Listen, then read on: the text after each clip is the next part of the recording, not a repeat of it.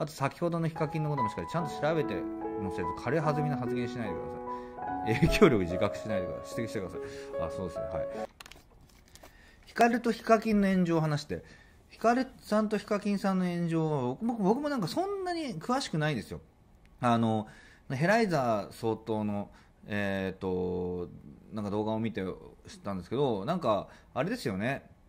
これ僕あんま知らないでちょっと喋るんですけどヒカキンさんが YouTuber を集めてすごい大運動会だから大鬼ごっこをしました、まあ、大逃走中みたいなのをやりましたと。でそこで、えーと、不備があって、えー、60分だっけな？60分だからの制限時間が実際70分10分多かったみたいな、はい、でそれを、えー、ヒカキンさん知りませんでした。でもヒカルさんがそれをどっかから知って、えー、どっかなんかタレコミかなんかで知ってそれをヒカキンさんに、えーと注意しました。でそのタレコミ情報が世に出ないようにヒカキンヒカルさんがお金を払ってその情報を買収しましたと、えー、でヒカルヒカキンさんに報告しました。そうするとヒカキンさんは、えー、こんなに今まで YouTube に向き合って真摯にやってたのにそんな嘘ついたことないのにわーみたいになってなんか謝ったみたいな。そういうこと？合ってるこれ。俺何も甘がってないんだよね。別にそんなぶっちゃけななんでそんなんで謝るんだろうなみたいな。はい。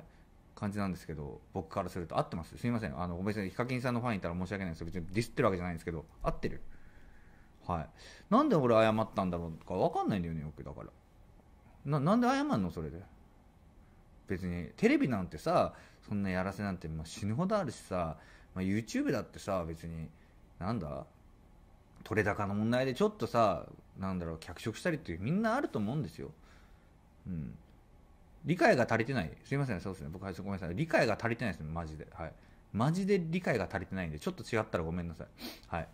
合ってんの？まあ、どっちでもいいよ。はい。別に、だから結論から言うと、僕はヒカキンさんは、あのー、謝んなくてよくねそんなの。って僕は思いましたけどね。まあ、それが彼のせいだし、彼が、彼に対してファンがつく魅力なのかもしれないですよね。そうやってヒカキンさんはちゃんとファンに向き合って支えまでするから、えー、支持されるのかもしれないんで、まあ、別にそれは否定全くしないし、えー、素晴らしいことだと思いますよ。でも僕だったら謝らないなと思いました。はい。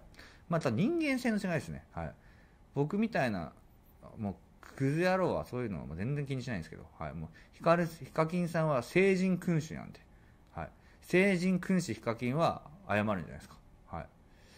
まあ、まあぶっちゃけぶっちゃけぶっちゃけ？謝んなくてよくね。はい。理解してください。ごめんなさい。理解できてませんでした。申し訳ありません。あんまり分かってないです。すいません。あんまりちょっとどうでもよくて分か分かってないです。分かったです。はい。ヘライザーさんのちょっと動画見てちょっとだけ学んだだけなんですいません。間違ってたらすいません。多分間違ってると思います。はい。あと先ほどのヒカキンのこともしっかりちゃんと調べてもせず軽い弾みの発言しないでください。影響力自覚しないでください。指摘してください。あそうですね。はい。